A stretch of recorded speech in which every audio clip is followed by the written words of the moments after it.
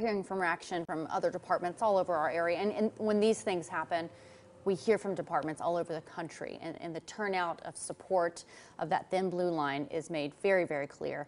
Uh, so we'll, we'll continue to read those for you as we get them in. But we are just in, in standby mode right now until we get more information. And while we dig into that, let's go to Josh Breslow, who's at the alert desk.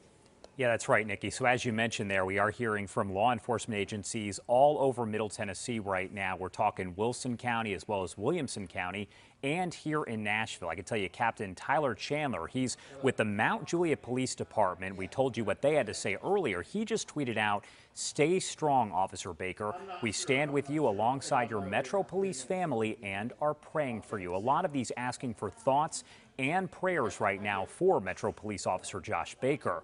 THP Nashville also tweeting out, ask that you take a moment to help us send up prayers for Metro Nashville Police Officer Josh Baker, shot this morning. THP, of course, Tennessee Highway Patrol, stands with our brothers and sisters at Metro Nashville Police Department.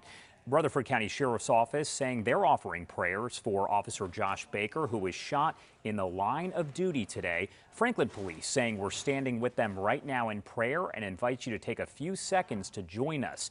As we mentioned, Officer Josh Baker, seen in that photo right there, is at Vanderbilt University Medical Center undergoing surgery as we speak. At last check, Metro Police spokesperson Don Aaron says Baker is listed in critical condition. We've also learned that Nika Holbert, the 31 year old woman involved in that shootout, according to police, is at Skyline Medical Center. She is also listed there in critical condition. That's the update from Don Aaron coming in not too long ago. We did take his news conference live.